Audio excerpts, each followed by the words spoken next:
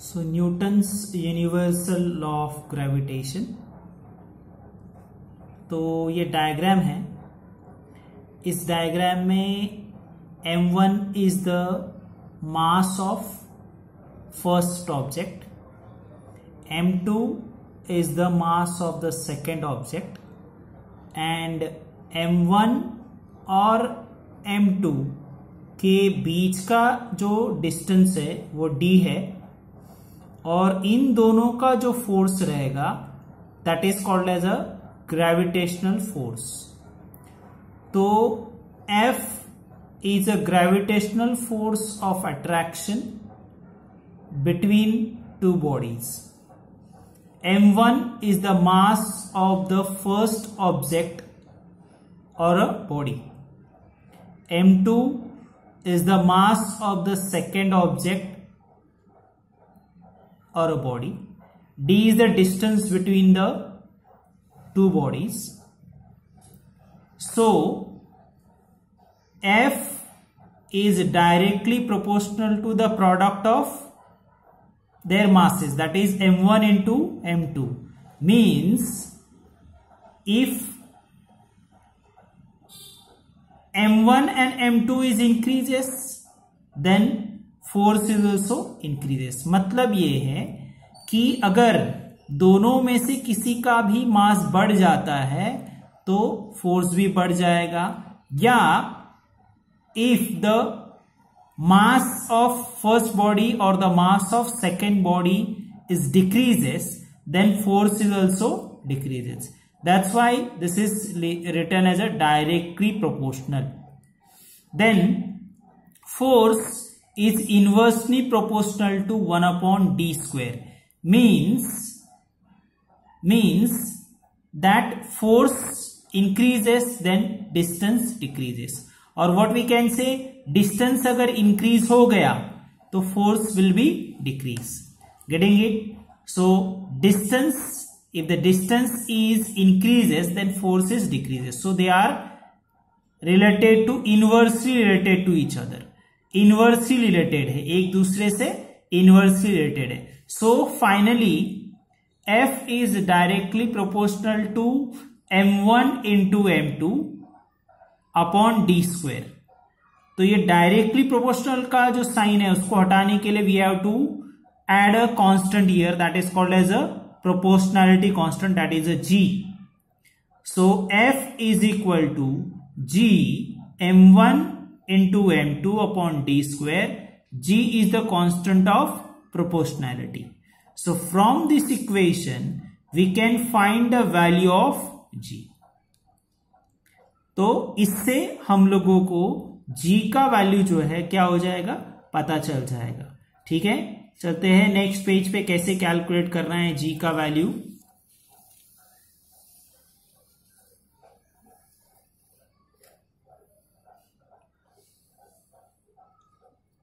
सो so, अगर हम लोग को सेम फॉर्मूला अगर लेते हैं और दो जो बॉडी है उनका मास अगर हम लोग क्या करते हैं फ़र्स्ट बॉडी का भी मास वन के ले लेते हैं सेकेंड बॉडी का भी मास हम लोग वन के ले लेते हैं।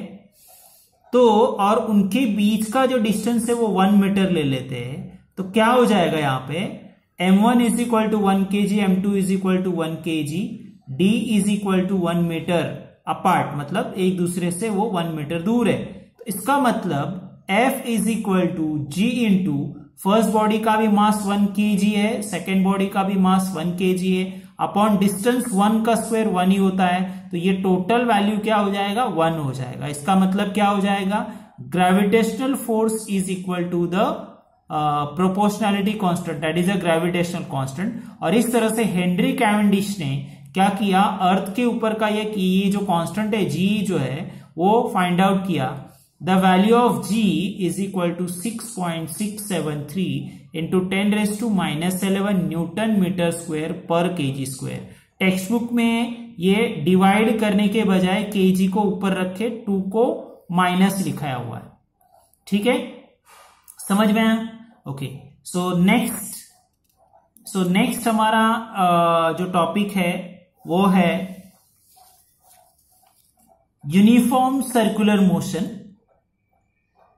and centripetal force so यहाँ पे हम लोगों ने मैंने एक diagram there is simple diagram earth and the moon and we already know that there is a direction जो है उन दोनों के बीच का जो है, वो क्या होता है? टेंजेंशियल होता है। फ़र्स्ट पेज पे हम लोग को दिया है। मीन्स 90 डिग्री होता है। मून जो है मून एंड अर्थ के बीच में मून परपेंडिकुलर डायरेक्शन है, उसके स्पीड से जा रहा है, और अर्थ जो है वो क्या कर रही है, उसको अट्रैक्ट कर रही है सेंट्रिपिटल फोर्स ठीक है?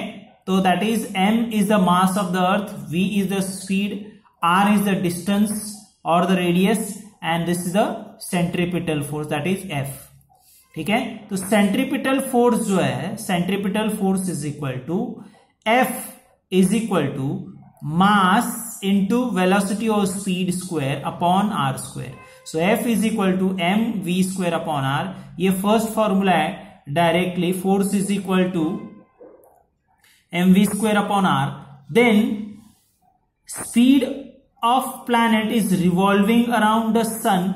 Can be find out? हम लोग उसको भी फाइंड आउट कर सकते हैं। कैसे? अगर इफ़ मून और द अर्थ या जो भी है मून रिवॉल्विंग अराउंड अर्थ एक राउंड मार लेती है। मून uh, मार लेता है। Same as well as earth revolving around the sun ठीक है? एक राउंड मार लेती है। So that one round around the sun that is called as one revolution एक राउंड सो वन रेवोल्यूशन मतलब एक सर्कल हो जाता है तो सर्कल का टोटल डिस्टेंस आ जाता है फिर एक राउंड का perimeter that is circumference and circumference of the circle perimeter of the circle is nothing but a two pi R. तो टू पाई आर और टी जो है T is the time taken from one revolution sorry T is the time taken for one revolution so हम लोग को पता है we have a formula we know the formula the speed is equal to distance upon time तो speed हम लोगों ने ले लिया है वी और डिस्टेंस ले लिया है डिस्टेंस uh, हम लोग को पता है that is circumference two pi R upon T T is a revolution का जो है टाइम है। और ये जो वैल्यू है, ये हम लोग क्या करते हैं? हमारा जो ऊपर वाला इक्वेशन था, ये फ़र्स्ट वाला इक्वेशन इसमें हम लोग ने v के यहाँ पे उसकी वैल्यू क्या करते हैं? यहाँ पे डाल देते हैं। तो v का वैल्यू हम लोग वहाँ पे डाल देंगे तो क्या हो जाएगा? V के जगह पे ये वैल्यू डालेंगे तो f is equal to M into two pi R upon T whole bracket square upon R ठीक है? राइट अभी यहाँ से हम लोग नेक्स्ट पेज पे फिर से कंटिन्यू करते हैं। फिर से करते हैं नेक्स्ट पेज पे कंटिन्यू करते हैं हम लोग यहाँ पे। F is equal to M into bracket two pi R in upon T whole bracket square upon R so यहाँ पे f इज़ इक्वल टू अभी यहाँ पे 2 pi R square upon T square तो सबका स्क्वेयर हो जाएगा 2 का स्क्वेयर 4 पाई का स्क्वेयर पाई स्क्वेयर और आर का स्क्वेयर आर स्क्वेयर और यहाँ पे ये जो टी है, ऊपर वाला जो टी है, वो यहाँ पे मैंने लिखा है टी स्क्वेयर और यहाँ पे आर का जो स्क्वेयर आ जाएगा आर का स्क्वेयर जो नीचे था, वो यहाँ पे मैंने आर स्क्वायर लिख दिया है. ठीक है? फिर क्या हो जाएगा यहाँ पे? ये आर स्क्वेयर में से आर इंटू आर मतलब आर स्क्वेयर एक आर कट और दूसरा R cut the next is F is equal to four M pi square four M pi square four आगे था, मैंने यहाँ पे ले लिया। Four M pi square R upon T square ये आ गया। ठीक है? एक आर बच गया आर कट गया तो ये आ गया। अभी यहाँ पे एक स्टेप है। हम लोग को एक्स्ट्रा यहाँ पे एक स्टेप लेना है। ऊपर नीचे ठीक है? दोनों जगह पे हम लोग को R square upon R square से उसको मल्टीप्लाई करना है। Multiplied and divide by R square so इससे क्या हो जाएगा? ये जो आर है और ये जो आर स्क्वेयर है ये आर और ये आर स्क्वेयर इनका मल्टीप्लीकेशन आ जाएगा आर क्यूब और ये आर क्यूब आ जाएगा और ये आर स्क्वेयर है, मैंने यहाँ पे नीचे यहाँ पे लिख दिया है। और ये टी स्क्वेयर को यहाँ पे लिख दिया है। ठीक है? तो F is equal to four into M into pi square into R cube upon R square into T square ठीक है?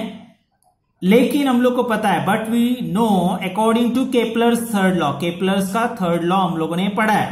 तो केपलर्स थर्ड लॉ में बताया था T square upon R cube is equal to K that is constant वो हमेशा क्या रहता है?